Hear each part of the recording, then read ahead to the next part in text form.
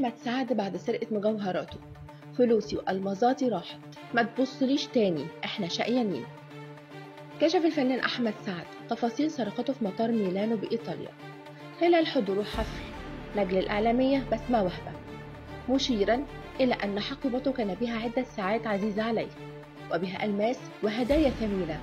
بجانب العقد الذي ارتداه في الحفل ولفت به الأنظار وتحدث أحمد سعد عن المقتنيات التي فقدها. قائلا الخسائر ولا حاجة. من النعم اللي ربنا اداها لي منها أول ساعة جبتها في حياتي.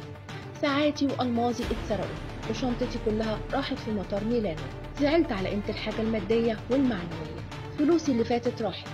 الناس ما تحبنيش تاني. اللي فات ضاع. أنا لسه ببتدي من جديد. الناس قعدت تقول أحمد لابس الشبكة أهي راحت الشبكة. مش هنبص لبعض. هنبص لبعض ليه؟ ما إحنا شقيانين